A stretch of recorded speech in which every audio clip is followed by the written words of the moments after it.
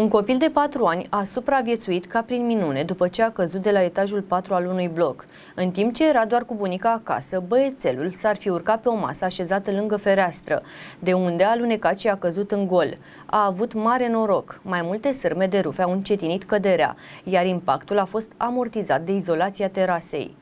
Un moment de neatenție a fost suficient să se producă nenorocirea. În timp ce era cu bunica și cu sora sa în casă, băiatul de patru ani s-ar fi urcat pe masa de lângă fereastră. S-a aplecat peste pervas și a alunecat de la etajul 4. Pompierii l-au găsit pe acoperișul unei terase. Acesta era conștient și prezenta mai multe traumatisme la nivelul feței, spune Aioanei Robert Ștefani Isu Buzău. Norocul copilului a fost că terasa este izolată cu un strat de polistiren și impactul a fost atenuat. În plus, sârmele de rufe montate la un geam i-au încetinit oprit căderea. A fost o fracțiune de secundă. L-am auzit plângând aici, m-am panicat și eu. Ne-am speriat de tragedia care s-a întâmplat. Noi am sunat la orice echipaj. A căzut de pe aerul condiționat în jos. I-a atenuat căderea, căci altfel putea să ricoșeze jos pe buturuga aia de acolo. Era prăpăd. Nu mai scăpa, povestesc vecinii. Băiatul a fost transportat de urgență la Spitalul Județean din Buzău. Din cauza leziunilor severe de la cap și membre, medicii au decis ca băiatul să fie transferat la București. Părinții copilului se căsătoriseră în weekend și l-au l-au lăsat pe el și pe sora lui la bunici ca să plece în luna de miere. La auzul veștii, mama copilului s-a întors într-un suflet acasă. Femeia a fost transportată la spital după ce a făcut un atac de panică. Polițiștii fac acum cercetări pentru a stabili exact ce s-a întâmplat, relatează observatornews.ro.